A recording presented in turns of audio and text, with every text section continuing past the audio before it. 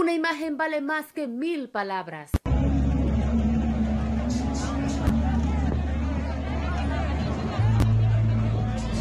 Estas imágenes ponen de manifiesto la irresponsabilidad de las autoridades municipales y de la ciudadanía ante la situación sanitaria que vive el país.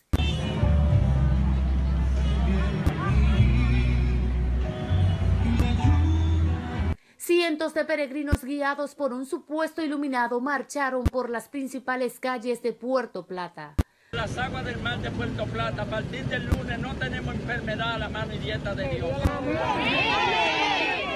Dios le bendiga y díganle al mundo que ya nuestro país dominicano a partir del domingo y lunes se ha limpiado a la mano de nuestro Señor Jesús. La acción fue condenada por el obispo de la diócesis de esa provincia, quien explicó que cuando los peregrinos llegaron a la catedral que estaba cerrada, abrieron forzosamente una puerta y entraron al templo, donde permanecieron por alrededor de 10 minutos y luego se retiraron tras un mensaje de quien dirigía el grupo.